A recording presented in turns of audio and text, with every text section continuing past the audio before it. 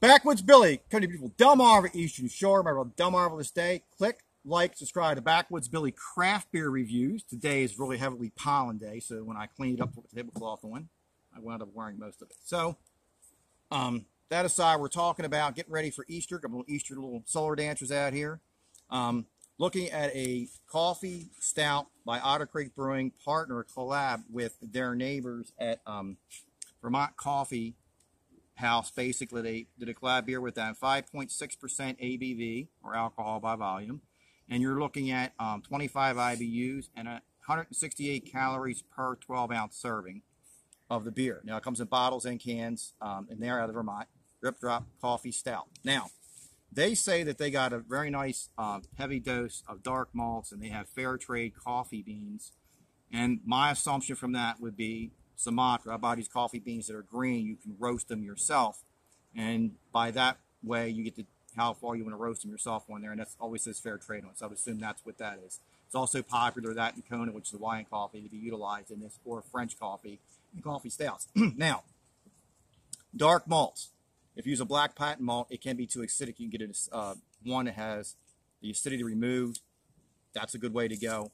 Um, hops in here are probably something like along the lines of Nugget or Kent. Um, I haven't tasted the beer, so something along those lines. It could also have Cascade in it, which would be more fruity. It could have Saul's Willamette, which is more spicy hops in there. Um, me personally probably use like a Maris Otter hop, starting out with the base and rolled in with a, um, a combination of a Cara Munich or a Cara Rye and or and um, maybe some like a Vienna malt in there for a nutty profile. But this does not have the nutty profile to it. So, so they said they had a touch of brown sugar, and the brown sugar is to bring out the vanilla notes and plum notes. You need the dark malt when you brew a coffee stout. It's um, not going to have the darkness. You don't use a lot of coffee in there. So the dark malt's going to be the color. And here we go to our pour.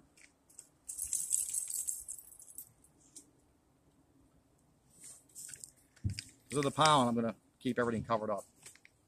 I'm going to put this out.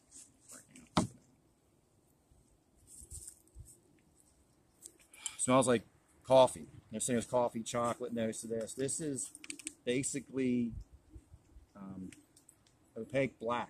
I mean, it's very deep, dark. Espresso black. Yeah, like espresso color, like a very deep violet brown, technically. Black's combination all colors in the color spectrum. The photocopies the uh, F's the color. What's the combination of that? Um, you get coffee. You get dark fruits with this. You do get a slight herbal and nutty note to this, which they didn't say was in there.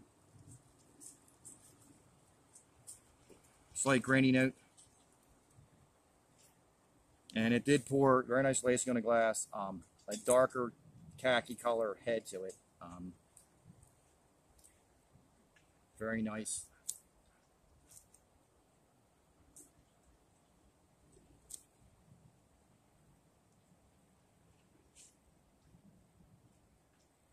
I get coffee up front, like with the aromatics, going to a sweetness, and I don't get a lot of chocolate, but I do get um, a hint of chocolate, dark fruits, which I couldn't necessarily pick out the plum in there, an extremely faint vanilla note, almost like a cream to this. The texture on this is going to be uh, on the lighter side, a medium bodied, um, on there like a medium, I should say, a medium bodied uh, beer, more like a porter uh, and a a thin bodied stout. So it's not like a thick, chewy stout where you have like flaked oats in there.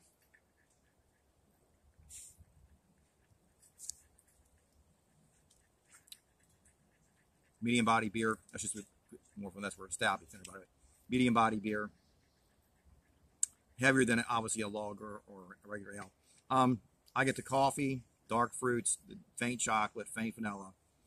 It's a backwoods Billy two thumbs up on this beer. Now, I'm going to put a recipe in here if you want to brew your own a clone recipe to brew something similar that's not exact.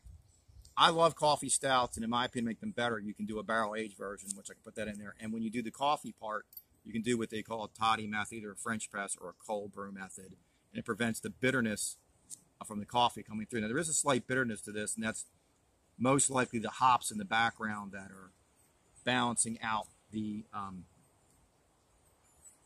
sweetness from the malts. So I think it's very well done. It's extremely well done beer. It's a backwoods Billy two thumbs up uh, on this. I want you guys. Oh, drip drop Always tell me Drip Drop Coffee Stout by Otter Creek Brewing Company out of Vermont. I'll put the link to them in the description box and right on down. So Backwoods Billy, two thumbs up on the beer. Remember to have a happy Easter holiday. No, Hoppy Easter. Oh, I'm sorry. She's right. It have a, I've been saying to everybody, happy Easter. We got rabbits that hop and hops that go into beer. Have a hoppy Easter. Um, also, remember to be safe, drink responsibly, and um, probably talk I was pounding there. Food pairings like a nice uh, stew with this, or a nice steak or hamburger would go very well uh, with this as well. So Backwoods Billy, two thumbs up. Remember to click like, subscribe to Backwoods Billy Beer Reviews, and check me out on Backwoods Billy Fitness, where I will be putting up more videos shortly on that as well.